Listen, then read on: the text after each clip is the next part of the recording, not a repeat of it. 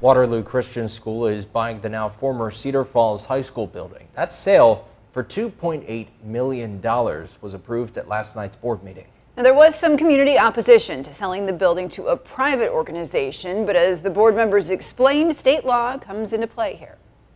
Request for bid was a process that was open to all interested parties. Um, the current law, as Andy said, uh, did does now require that we accept a bid if it is the high bid from an educational institution, regardless of the source of that education.